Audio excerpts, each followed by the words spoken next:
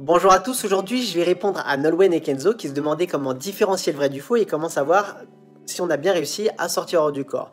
Il existe différentes techniques, pas toutes efficaces à 100%, mais les plus efficaces sont celles-ci. Alors la première, c'est celle qui consiste à scruter le bout des doigts pendant 5 à 10 secondes. Quand on est dans la phase, le bout du doigt devrait changer de forme, devrait se modifier.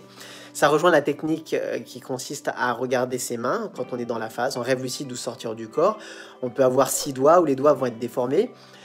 Enfin, il y a une technique que j'aime beaucoup, c'est celle qui consiste à se pincer le nez. Si on arrive à respirer au travers, c'est qu'on est bien dans la phase. Attention quand même au faux positif, ça se peut qu'on n'arrive pas à respirer en se pinçant le nez. Et enfin, euh, la dernière que je recommande, c'est regarder tout autour de vous, essayez de regarder si vous voyez bien des incohérences. Il doit y avoir des incohérences. La réalité astrale n'est pas identique à la réalité physique en tout point. Donc guettez ces incohérences. Voilà, ces techniques que j'ai présentées fonctionnent à peu près à 90-95%.